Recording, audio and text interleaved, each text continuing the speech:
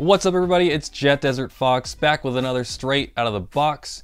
This is the video series in which I get a gun from a retailer or manufacturer, unbox it in front of you all, and give you my unbiased opinions. Today we're going to be taking a look at the Airsoft Innovations Flak 10 Super Shotgun. This is the same airsoft company that has produced such fine products as the Tornado 2 and the Master Mic and 40 Mic 40 millimeter grenades. I am very, very excited to take a look at this new Super Shotgun from Airsoft Innovations. So here we have the box for the Flak for the Flak 10 Super Shotgun. On the front, it just says Flak. We've got the Airsoft Innovations logo this like neon sticker thing. Oh, okay, this is what's holding the box closed. On the sticker, it's gonna give us a couple specifications for the gun. BBs per shot, 10, adjustable FPS, 180 to 310.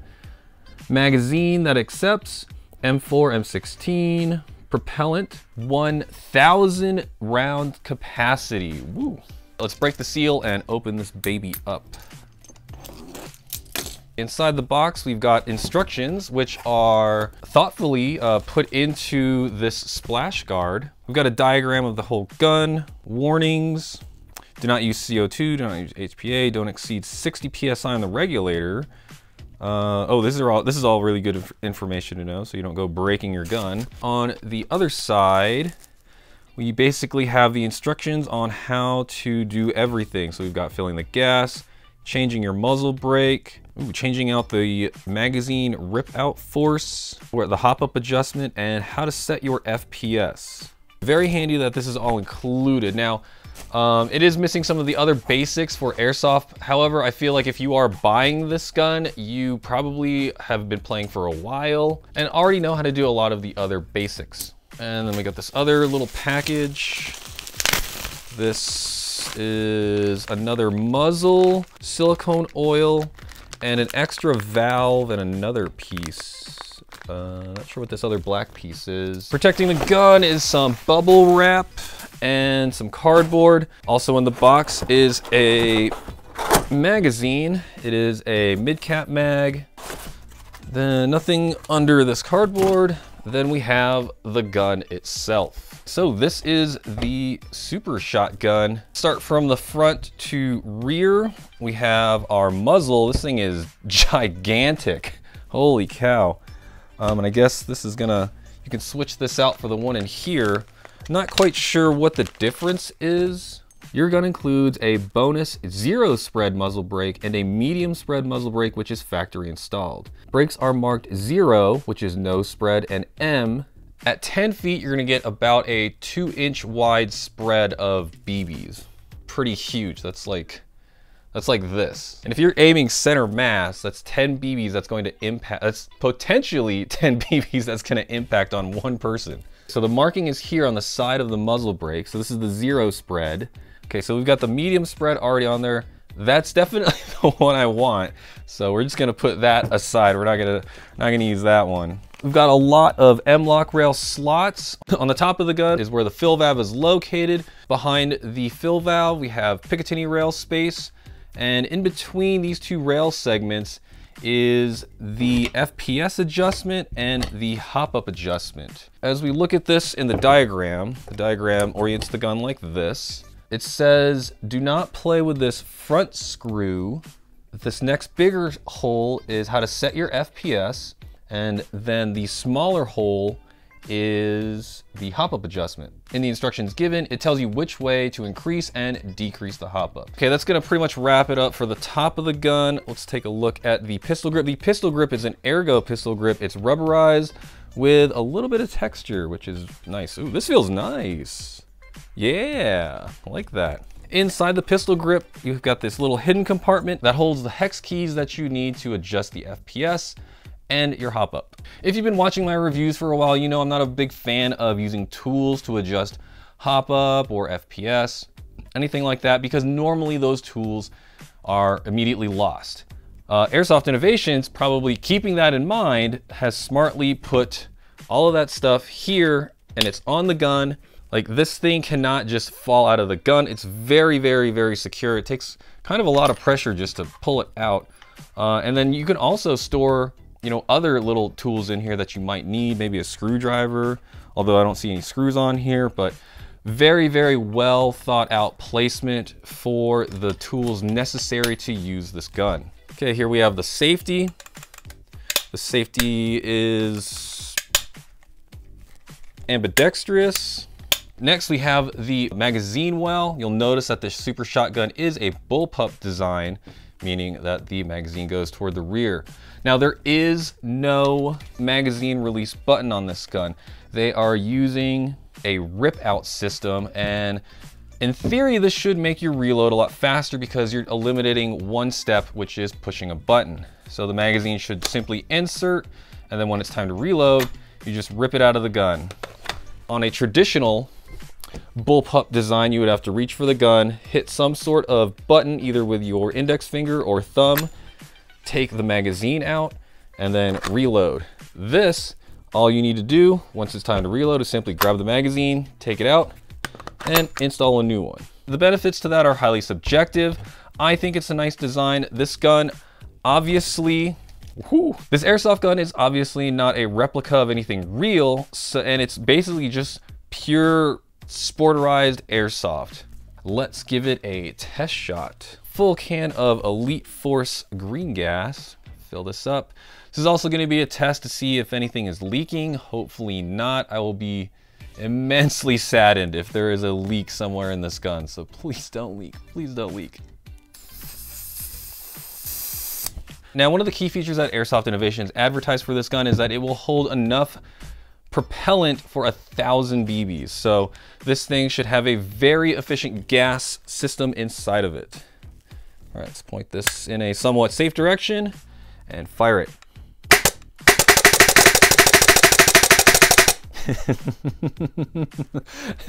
Sounds a little funny. It's a little weird. It's it's almost like a polar star because there's no feedback from the gun whatsoever. It's it's just literally point and click.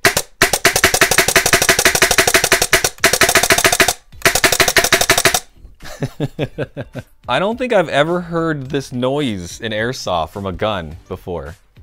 Like I'm trying I'm trying to think of what sounds like this. non-blowback gas pistol. Non-blowback, it, it, it's it's like it's like an oversized non-blowback. All right, we're gonna fill this with some more gas and then take it outside for chrono. Before we chrono, there is a little section down here on the bottom that says check FPS with Chrony. I guess that's what they call a chronograph in Canada. Now it says a Chrony cannot measure the FPS of a full 5 or 10 shot BB blast from the shotgun. Point the gun up and drop one BB into the muzzle brake and into the barrel. Fire the one BB through the Chrony to determine FPS. Okay, that's very good to know because a lot of times with uh, specialty guns like these, it is very complicated to try and chrono something. Uh, for example, any of the micro Gatling guns or mini guns. I'm very glad that this is included in the instructions with this gun. Very, very helpful. We're gonna be using Elite Force 0.28 gram BBs for the chrono test. And we're gonna be just dropping a single BB down into the barrel. So that way we can get these chrono readings. So these spare BBs up here. First shot, did not read. I think we hit the side of the Chrono. I gotta adjust this just a tiny bit. Let's drop another BB down the barrel. There we go. That was 0.608 joules at 65 meters a second. I don't know why that's on meters. Let's uh, change that. Okay, now we're back on feet per second. There we go. 0.558 joules at 207 feet per second. Now this is completely unadjusted, stock out of the box, fully loaded with green gas, or at least what I think is fully loaded with green gas. Okay, shot number three. 0.0, oh, I'm sorry, 0.697 joules, 231 feet per second. There we go. 0.669 joules at 226 feet per second. Okay, so we'll go ahead and stop that there. So we've got about an average of around 215 feet per second per the single BBs coming out. which honestly, that is lower than a Tokyo Marui. Obviously, it's gonna be a lot different than getting hit with a Tokyo Marui because now instead of getting hit by one BB at, you know, a very low FPS, you're getting hit by 10 BBs at a very low FPS. All right, let's move on to test fire. Okay, refilled the Flak 10 with some more green gas. I've got a PTS EPM1 mid cap filled with ASG Blaster Tracer BBs because these are the BBs that I'm gonna be using later in the gameplay footage for this video. Slap this magazine in the gun, see if this magazine will feed. Oh, heard it click in and BBs cycle into the gun. That's great. Let's fire it. Oh my goodness. Oh my God. It's, they're not even hitting the backstop. Oh.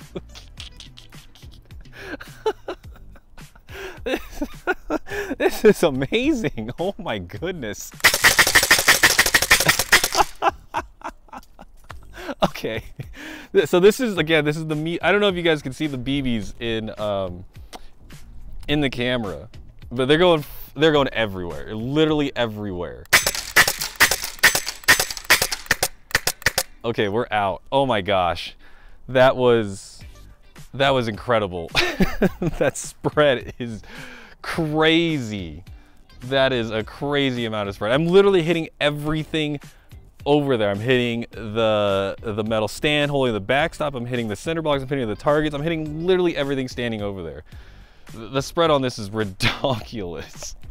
Initial thoughts after the chronograph and test fire. Most notably, the BB spread on this is crazy. I was not expecting how big the spread was with just the medium size brake. That at, at about um, yeah, at I think at I think at 10 feet it was more than two feet. It just felt like there were BBs going literally everywhere. So let's say you turn a corner and there's just a crowd of people, you're probably gonna hit everybody. Uh, when it comes to hitting a single target, I think maybe the zero spread might be better, but we're gonna find out later tonight when we take this thing to Tac City. This thing eats up a lot of gas. I started with two cans of Elite Force green gas. One of them still has a decent amount. This one is pretty close to empties, and that was about, I don't know, maybe 20, 30 minutes of firing the gun. So be advised, you are probably going to use a lot of gas uh, if you're gonna be using this gun. So stock up on green gas or whatever you want to use for your propellant. Let's talk about magazines now. The magazine that it comes with is this Banff magazine and it is very easy to slide in and out. Obviously the magazine well is already adjusted for this, so it's pretty easy. I tried using a PTS EP, EPM1 in it, and it is a lot harder to rip this magazine out. In fact, I could just show you right now. The magazine is gonna go in quite easily. And then to tear it out, really gotta yank that. Now compared to the Banff mag, it goes in. Oh shoot, there were BBs in there. Safe. And then to take it out, very easy. That got me thinking, what what other magazines are gonna be uh, compatible with this just straight out of the box as is? So let's go down this line real quick and just see what works well and what doesn't work well. This is an older style PTS EPM goes in. Okay, that one's kind of rough. This is a generic plastic M4, goes in. Uh, that one's kind of rough too. QRS mag goes in. All right, QRS mag's real easy to get in and out. Not a lot of wobble either. All right, cool, cool. Okay, this is a Krytac mid cap. Goes in, a little bit of wobble. Oh, this one comes out really nice. Okay. All right, that one's nice. Got a G&G mid cap. A little G&G symbol there. This one's full metal. No wobble. Ugh, okay, that one's really hard to get out. Okay, this is an ICS magazine. I don't remember which one this is exactly, but it's got the built-in little magazine pull. This one's plastic. All right, this one's pretty easy to take out. Okay, put that in the easy to kind of easy to take out pile. I've got an all plastic Elite Force mid-cap magazine. You can see the little Elite Force logo down at the bottom. Goes in easy, a little bit of wobble. Okay, that one's pretty tough to take out. Keep in mind, this magazine rip system can be adjusted. So let's say you have a magazine in this pile, you're like, oh no, I won't be able to use that bag. No, you still can. I just haven't adjusted this. I'm just checking to see what's what's gonna work in this thing just out of the box. Next, the trigger pull. Now the trigger is essentially just opening and closing a valve to let the gas in and then shoot all the BBs out. So with that being said, if you do a very light trigger pull or hold it down, then the gas is just gonna kind of like shoot out. Now I'm not, I tried holding the trigger down to see if maybe it'll just give me like a spray of BBs. It doesn't work that way. Uh, but if you are just kind of half pulling the trigger, it's not going to, it's not gonna fire. It'll just kind of like stutter and, and, and I, I don't know, it, it just kind of stutters and it doesn't fire. So you really got to make sure you pull all the way and you're forceful with every shot when you squeeze. Because again, a hat like a, a, a small trigger pull will do this. Or something like that. The point of that rant is squeeze the trigger all the way if you have this. Because if not, it'll do this.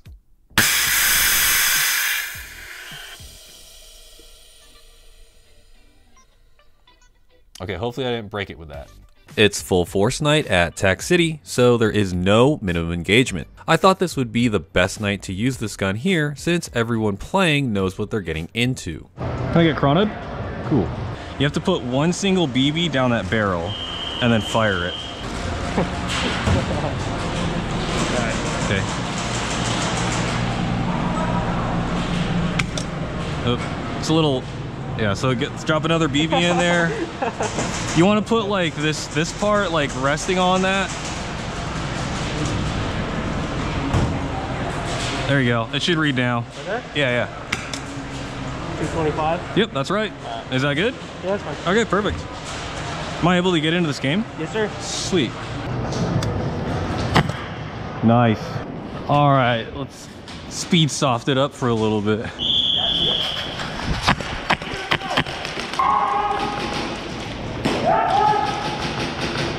Hey, where? Back corner?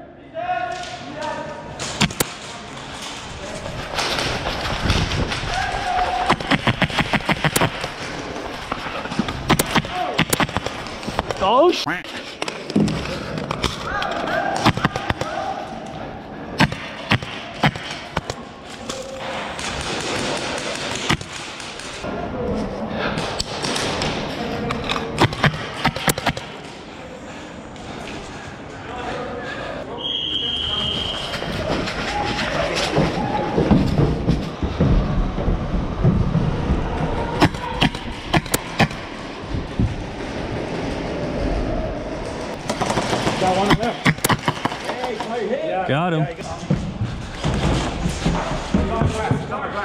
On the glass? I'm going straight across.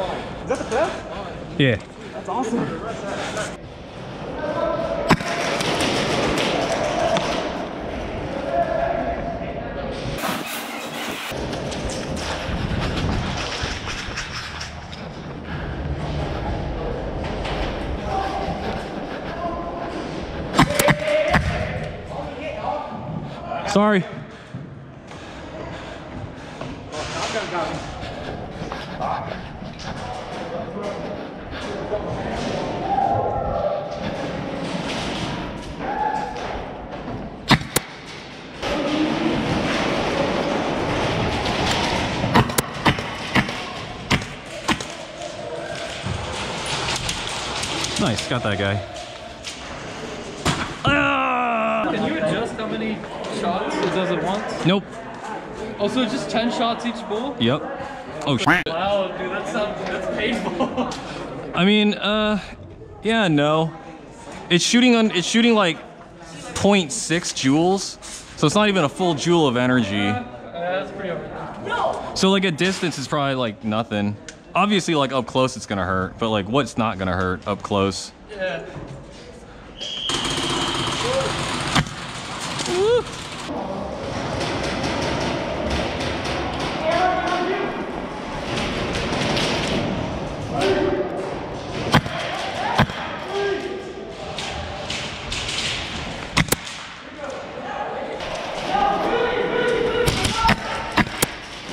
Oh, sorry.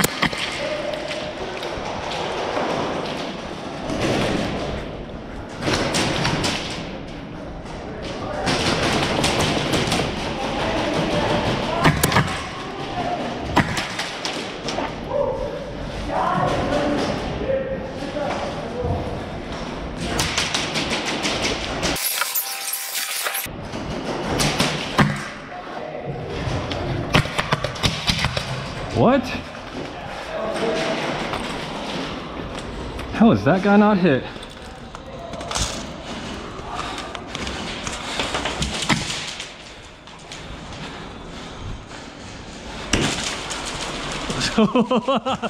you already, you already me with a grenade launcher. Good shot, dude. What's up?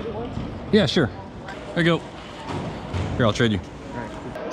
Oh my god. I thought it was gonna be like everywhere, but it's more closed and that. I was actually a little scared that this was going to be banned because I saw a lot of people on Instagram talking about like it's already banned at their fields. Yeah, so I can't even use six shot this, so Oh, really? Why? because six shot is too painful. It's considered more overshooting. Oh, what joules or FPS are you at with that? I'm at 340 with 0.25s, and I think around 1.7. Okay, so I'm shooting, I'm shooting less than one joule. I'm shooting like 0.6 joules, Oh, okay. and then I'm at like 225. So like, I don't, I don't see how that's gonna hurt. Mind if I take a look at that? Sure, here you can shoot it if you want to. Appreciate that. Make sure to give it a full trigger pull. Oh wow. What's up? Is it the good It is. I just like it that way because when I am offhand, it's e it's easier to control. And then if I'm gonna switch, I like to be able to like hold something as I like make the transition. It's just Smart though. just personal preference. The, the, never thought put it backwards. the, the easiest is just this way. Cause like sometimes I'm just too lazy to like like switch arms. Like especially if I'm like, oh, let me just check this corner real quick. Okay, there's no one.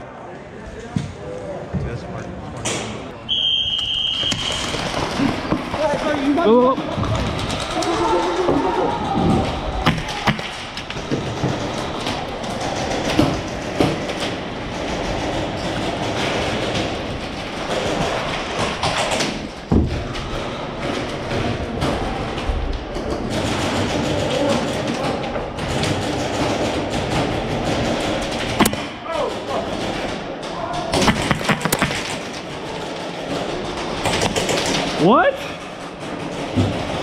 Hit. He's gonna be right, but I didn't know almost. 10. It's 10? I think I hit you with like I four. thought it was three because I get I have like three little dots in the arm. From Oh, okay. Okay, that would fall like a lot though. But oh, dude, that was awesome.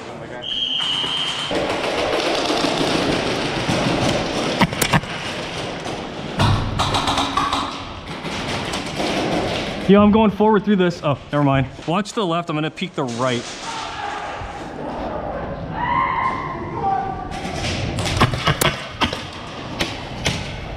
All right, one down. I'm going. I'm going through. I swear I got him, but Oh, nice. Every time you don't check a corner, there's always somebody. I swear to God.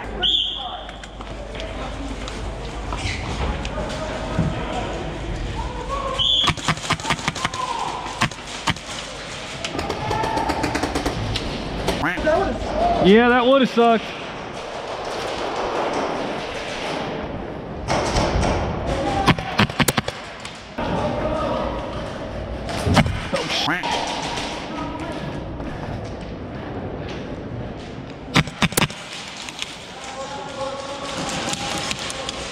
Nice ranged kill. Oh man, I'm going this way. Excuse me.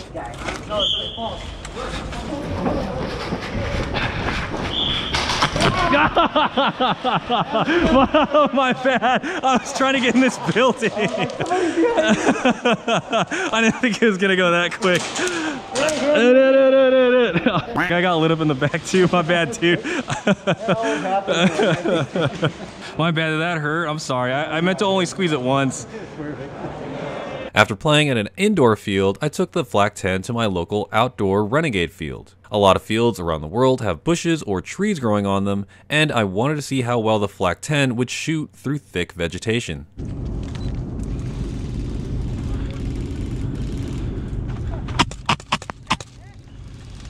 Hit!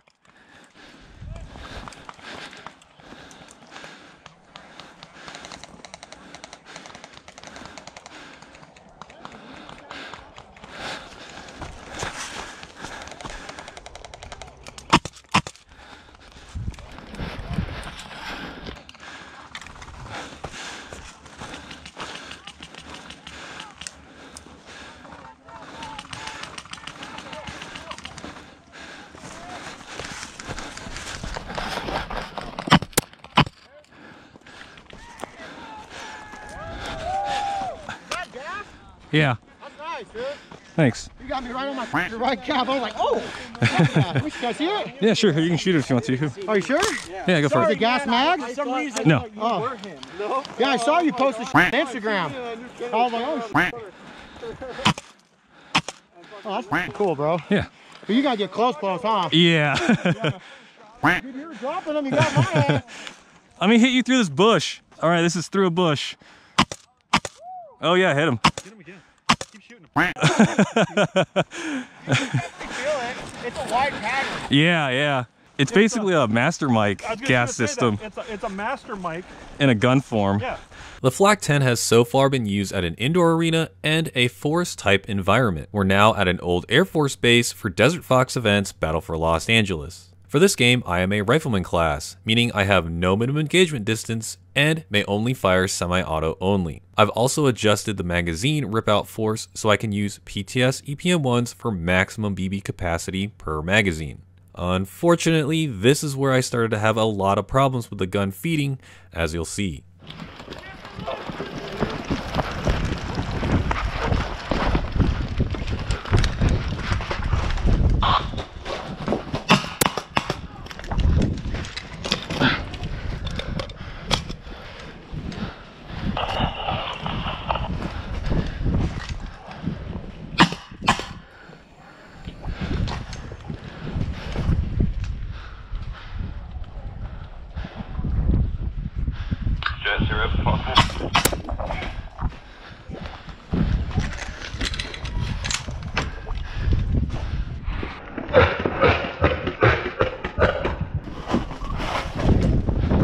I'm not quite sure if either of us hit each other here or if the other player even fired his gun.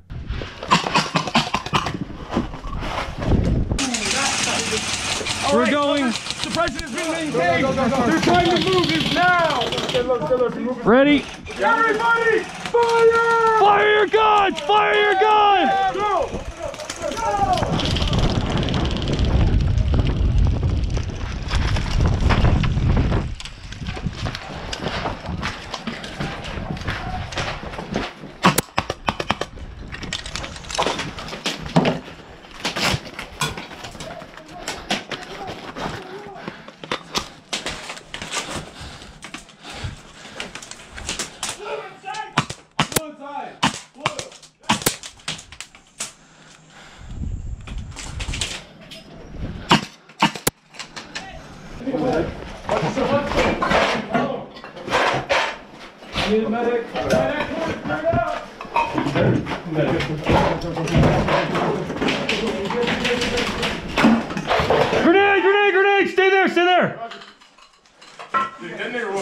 Thunder but it might be a dud. Light off, light off, turn light off. Do you want to take it? He's on the outside. He's on the outside to the left. I got, I got you, I got you. Go now, go now, go now.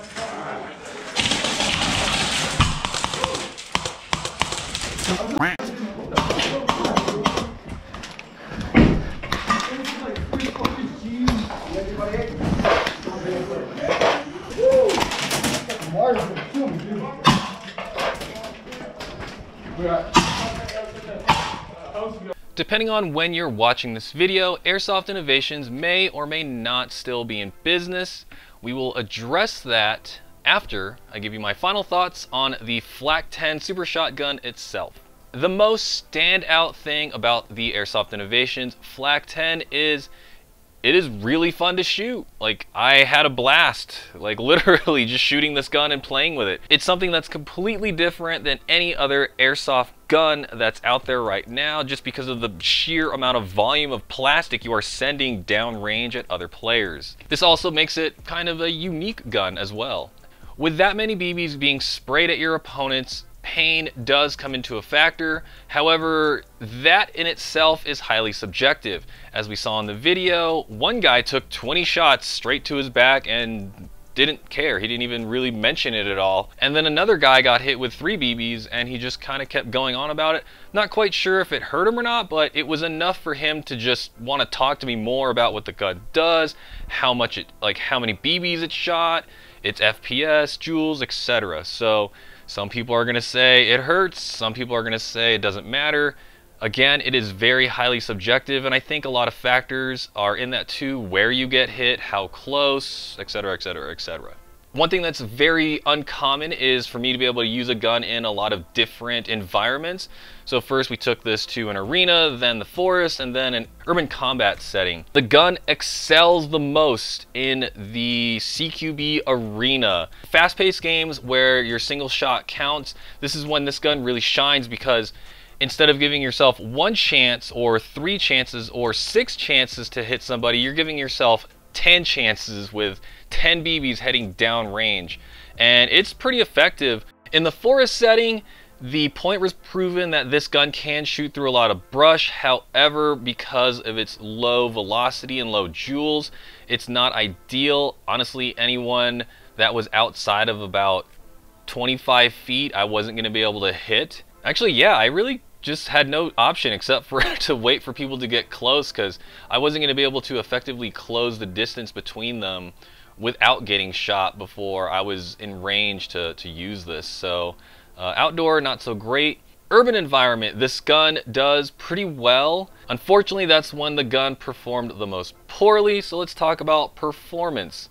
So when I went to Tac City, gun performed flawlessly. I was using these Krytac mid caps and they fed great. For the Desert Fox event at George Air Force Base, I uh, adjusted the rip out force uh, system, which is right here, to use PTS EPM 1s, I wanted to have the maximum amount of BBs per magazine. This magazine holds 250 BBs, which is 50 BBs short of a normal uh, M4 high cap, which holds 300 BBs. Once I adjusted the rip out force system though, these would not feed as great. I would probably get about two shots that actually fed, and then after that, the gun just would not feed, and that would be immediately after reloading a new mag. The Flak 10 also does not perform well in cold weather whatsoever. I would not recommend getting this gun if you live in a in a region where it tends to get cold because you're only going to be able to use this thing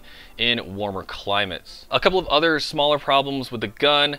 I would have had liked to have seen some built-in sling attachment points. Obviously there is a lot of space here on the body Uh, AI opted to do these M-LOK slots here. However, the M-LOK slots I don't think are to the correct spec. I think the thickness of the body is a little too much for most M-LOK screws too.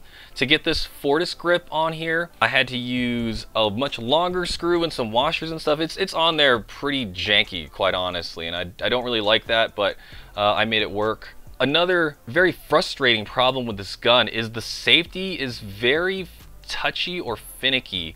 Uh, there were a couple times where I went to squeeze the trigger and I thought the safety was disengaged, but it was actually engaged. So the safety will make this big locking noise and you can kind of hear it makes multiple clicks. If you don't push it out all the way of safe um, and you only like give it like a little kind of small push, uh, sometimes the safety will become engaged. And it, that's really frustrating when you're in the middle of engaging an, an enemy opponent. I don't think I captured it on camera, I'm not sure. Uh, where I would squeeze the trigger and yeah, just the, the gun would not fire because the safety was on. I'd have to push the button in again. And by that time, the enemy player is long gone and I've missed my opportunity. Now you couple that with the funky trigger pulling that makes weird noises when you don't give it a full pull. In cold weather, it would just make strange noises. The overall performance of this gun was just barely above bad, only because the first two times I played with the gun, it was great. But the third time, it just performed pretty terrible and it was very, very frustrating. So I'm going to give it an okay, but that's an okay that's just like, here's bad, and then like, here's okay. Now we can't talk about Airsoft Innovations without addressing what is currently happening to their company, and for that we've got to go down the timeline of the Flak 10. I'm going to refer to Airsoft Innovations as AI from here on out because Airsoft Innovations is way too long for me to say in every other sentence. December 2nd, 2020, the first Flak 10 trigger teaser video comes out, and some more teasers come out toward the end of December. April 7th, 2021, we get our first YouTube video of the gun in action along with the start of pre-orders. Fast forward to October 7th, 2021, pictures of the first batch of bodies is posted on AI social media. Now, I couldn't find it anywhere in my research. Um, I'm sure, I have a feeling it was probably mentioned somewhere, I just didn't find it. I have no idea how many guns were in that first batch. An average amount of first batch pre-orders from a manufacturer is around 500 guns. January 10th, 2022, AI posts that is working on its third batch of Flak 10s. Going off that average number, there would hopefully be somewhere around 300 to 500 of these guns now. AI is a smaller company, so I don't expect them to crank out 500. January 20th, 2022, I received my Flak 10. However, I'm not able to use it immediately because that's around the time I got COVID and I was doing a bunch of other projects. March 3rd, 2022, AI attends IWA. March 11th, 2022. Airsoft Atlanta calls out AI for not fulfilling retailer orders. A handful of pre-orders direct from the AI website were fulfilled, but the majority are not. You can read the entire post from Airsoft Atlanta. The link is below in the description, and it basically calls them out as being a Ponzi scheme. March 12th, 2022. I personally have finished two thirds of this video but to be fair, I wanted to get a statement from AI. AI asked for a week to give any kind of statement because, quote, things in play slash process. March 17th through 19th, 2022, more companies begin to call out AI. There has also been nothing but radio silence from them since IWA. Lots of people took to the internet to talk, to comment all over the place talking about how they've been calling and emailing AI and there has been nothing but silence from them, which is immensely frustrating if you spent the $600 on the pre-order for this gun. March 23rd, 2022, AI is ready to give me a statement, but it has to be over the phone. AI asked me not to record the phone call, so here's essentially what was explained to me. AI talked about long development problems and most notably supply issues. We all know that supply issues are causing lots of problems in lots of industries right now. However, when you look at this video of the Flak 10 trigger being made, we can see a lot of that scarce material being presumably wasted. The rest of the conversation was spent rehashing the development problems and how it was fitting that Airsoft Atlanta, who were the first US retailers to carry AI products, were the ones to quote unquote take them down. Personally, what I gathered from that phone call was that it seemed like AI was just kind of poorly mismanaged from the start, and then this ambitious project of the Flak 10 is what they gambled the whole company on, and they just lost that gamble. This is a shame. Personally, I really like Airsoft Innovation products, and I'm sure a lot of other people do too. Now, you're probably wondering, well, what happens to Airsoft Innovations now? In my opinion, the ideal scenario is that AI sells its patent to another company. This company can continue to produce AI products that players love and possibly develop a better version of the Flak 10. The best scenario for AI is that an angel investor invests into the company and it can continue to operate, hopefully with more efficient management. If you've got some money bag friends who are looking to invest in airsoft, this could be their chance. Um, unfortunately, word on the street is that all of these scenarios are very, very unlikely.